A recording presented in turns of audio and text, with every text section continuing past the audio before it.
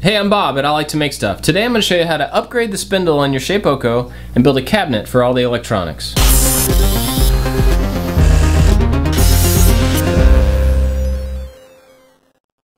You'll start out by unwiring the motors from the motor shield just by opening these terminals. Then separate the shield from the Arduino.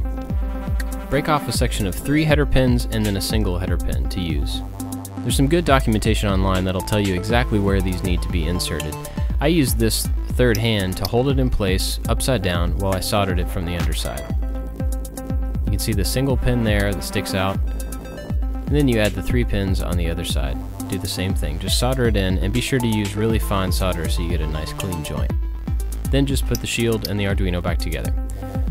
So 24 volts are going to come into the Arduino, into the shield. These jumpers are going to connect it to the relay, the relay is going to connect to the spindle and the speed controller. The speed controller connects to the power source.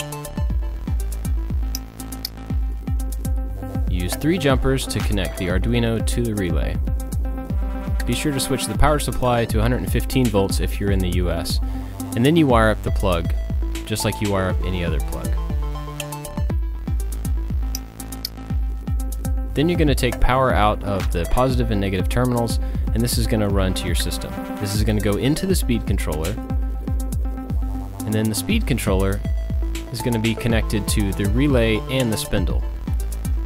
When you go to connect the spindle, you want to use a long set of wires so that once it's on the machine, it has plenty of slack so that it can move around with the gantry on the machine. Solder the ends together to the spindle and then cover up the joint with some heat shrink tubing.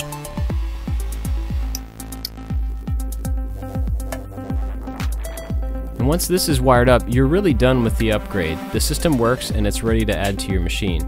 You can see here that the potentiometer now controls the speed of the spindle. Then it's just a matter of mounting the spindle in your machine just like you did when you set it up the first time. I decided that I didn't want all these new electronics just floating around next to the machine, so I decided to build a little cabinet to put underneath the machine itself to hold all the electronics. Building this cabinet is basically the same process I used when I made my king-size bed, and you can check that video out right here for more specifics. It's really simple and pretty rough because I was just kind of making it up as I went along, but I cut some plywood down into the strips for the full size that I wanted of the cabinet, and then one piece to use on the inside as a divider. I drew some lines so I knew where to shoot the nails and then used glue and brad nails to connect them.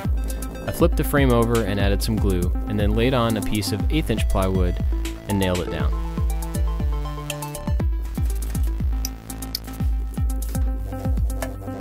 Nail in the front side of the divider, I just measured over the same distance that I used on the back and shot nails down it. Then it was ready to put in the electronics, and I had plenty of space in the section, and I just kind of laid things out where they fit with the wires, weren't too stretched or anything. And then drilled some holes in the back so that I could feed through the power wires for both the power supply and for the Arduino.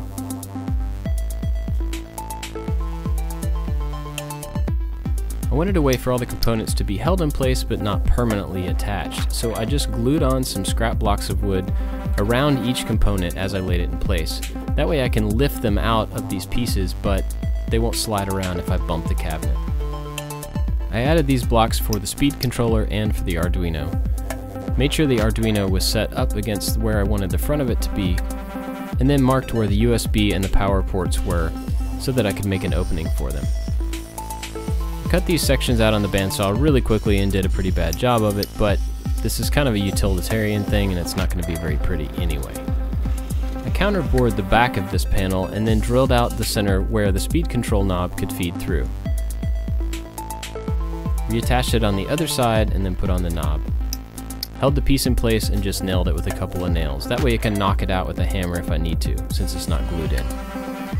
Since I was just making this up as I went along, I didn't account for any kind of ventilation for the power supplies, and I realized it was probably going to get pretty hot in there. So I used this multi-tool to cut out a section of the back panel.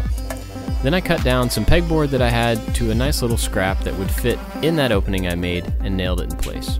It's not a lot of ventilation, but it's better than nothing. I also had to drill a hole so I could feed through the motor wires and attach them to the Arduino.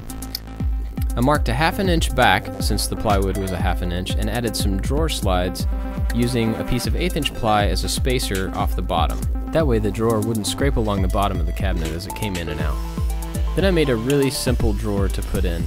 I just used some scrap plywood that I had, cut it down to length, and then ripped those pieces down to a shorter height than the opening of the cabinet was. It didn't need to be a full height drawer. I glued and nailed this up the same way as I did everything else, and then glued and nailed the plywood onto the bottom.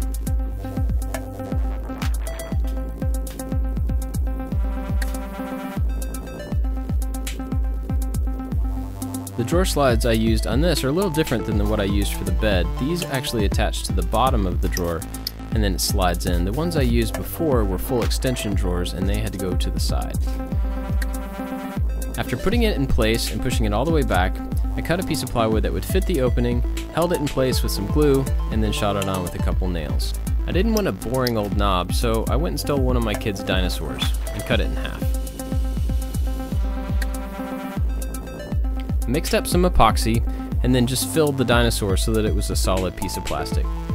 This is a technique I've seen on Pinterest a lot. People make coat hangers or knobs or all sorts of things like this, so it's something you can carry over into other projects.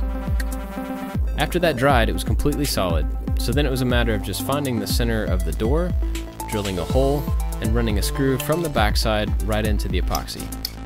I mean, that's a pretty awesome knob. The last step was just to cover the top with the eighth inch ply. I made sure to countersink the screws here so that when you put the CNC machine on the top of it, it doesn't end up uneven or anything because of a screw head. Now there's a drawer for all the bits and all that stuff. Now here's a test between the old spindle and the new spindle.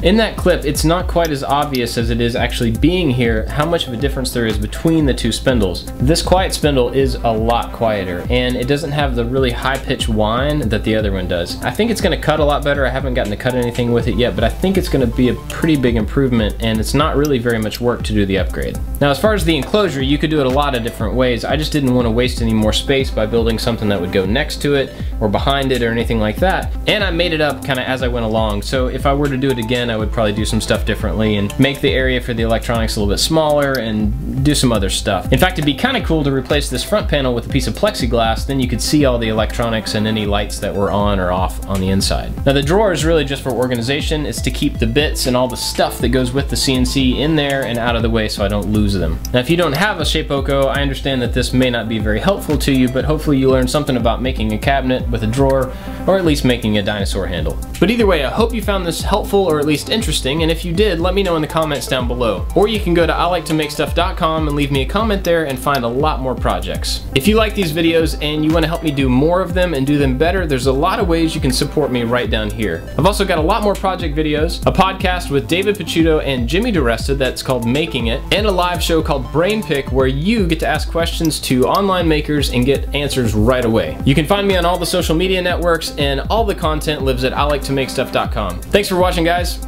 See you next time.